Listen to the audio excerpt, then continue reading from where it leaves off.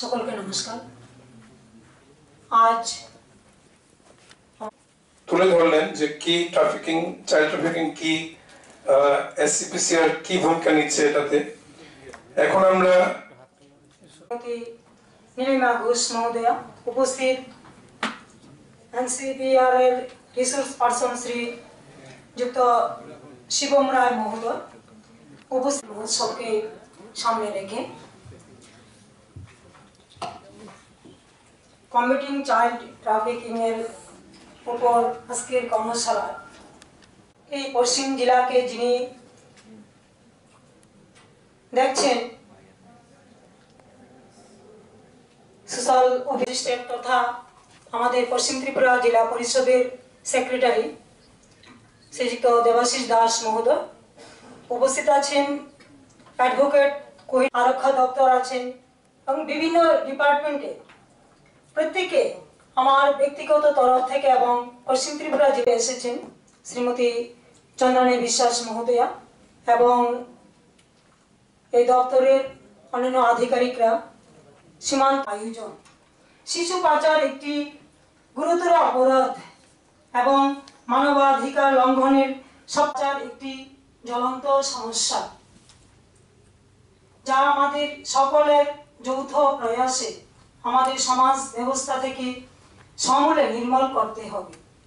আমি খুব তবে এটা আমার শোভনীয় নয় যে গ্রেপ্তার হলো বা বাচ্চাটাকে, তো যা হওয়ার তো হয়েই গেল। যে মা বাবার যে না এই পুলিশ আধিকারিক এবং child line child welfare committee জোর ঝাপ করে রাত্রি তিনটে অবধি এই বাচ্চাটাকে উদ্ধার করে চার চারজনকে চাইবে যে এই ধরনের যে প্রোগ্রামগুলি হচ্ছে, লাখো লাখো টাকাও খরচ হচ্ছে, বিভিন্ন সময় শব্দ তখনই থাকবে যে আমরা এখানে আসব এবং এখান থেকে যাওয়ার পরে আমরা ভুলে যাব সেগুলি নয়।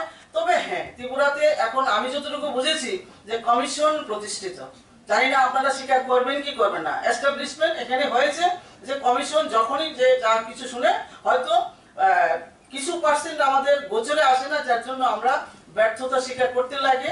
অসব পেপার সাংবাদিক ভাইয়েরাও বলেন, আপনি জানেন না বা আপনারা জানেন না। তো, আমরা এটা বলতে লাগে এখানে আমাদের সাংবাদিক ভাইয়েরও যারা রয়েছেন, তারাও খুব আমাদের উপকার করেন এবং আমরা পত্রিকার খবরের ভিত্তিতে যেখানেই যেটা হোক, আমি এবং আমার টিম কমিশনের টিম দৌড়ে সেখানে যাওয়ার চেষ্টা করি এবং যেমন হাজারো ঘটনা সাড়ে চার বছরে উপকৃত হয়েছে শিশুরা।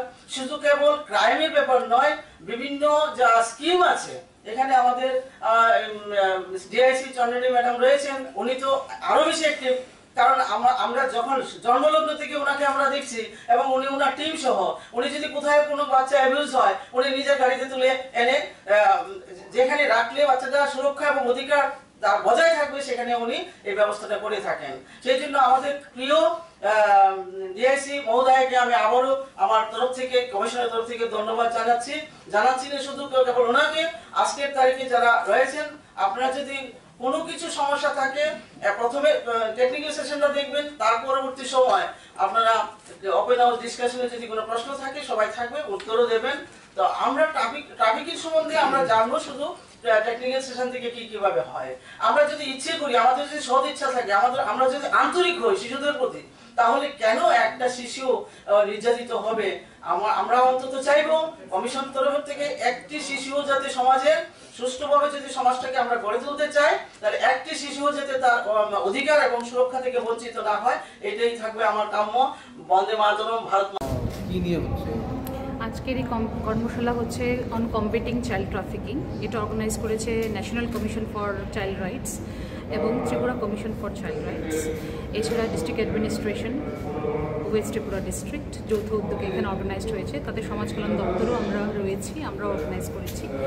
এই অনুষ্ঠানে আমাদের মধ্যে পার্টিসিপেন্ট হিসেবে রয়েছেন child welfare committee juvenile justice board police থেকে লোক এসছেন health education department labour department তাছাড়াও রয়েছেন অন্যান্য দপ্তরের আধিকারিকরা যেমন লেবার অফিসার রয়েছেন সিডিপিওস রয়েছেন বিডিওস এসডিএমস রয়েছেন।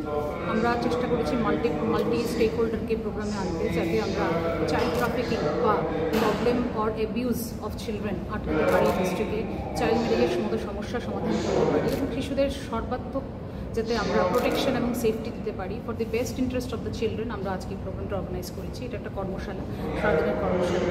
আশা করছি এই প্রোগ্রামের মাধ্যমে আমরা আরও অ্যাওয়ারনেস ক্রিয়েট করতে পারব শিশুদের কী অধিকার রয়েছে, শিশুরা কীভাবে নিজেদেরকে রক্ষা করতে পারবে, কীভাবে আমরা সাইন্স অ্যান্ড সিমটমস বুঝব যে চাইল্ড ট্রাফিক হচ্ছে এবং কি, কত ধরনের চাইল্ড ট্রাফিকিং হয়।